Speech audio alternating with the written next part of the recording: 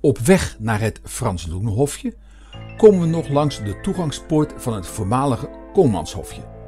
Dat is in 1613 gesticht door het Koopmans, dat is het Koopmansgilde. Het is in 1871 gesloopt.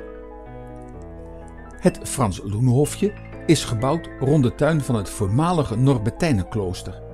Het is in 1607 gesticht uit de nalatenschap van Frans Claesson Loenen, een rijk geworden Amsterdamse gokker die naar Haarlem kwam. De poort is uit 1625 en van Lieve de Kei. Het hofje wordt bewoond door wat oudere vrouwen. In het poorthuis woont een echtpaar.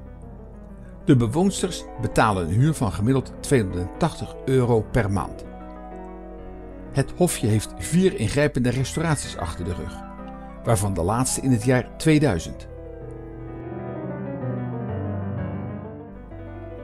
S'avonds wordt het hofje verlicht door gaslicht.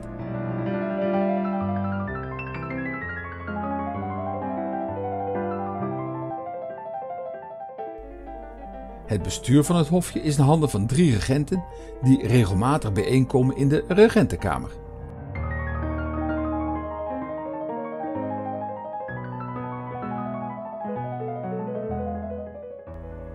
Het familiewapen van Frans Loenen ziet er wat vreemd uit. Een leeuw met een afgehakte kop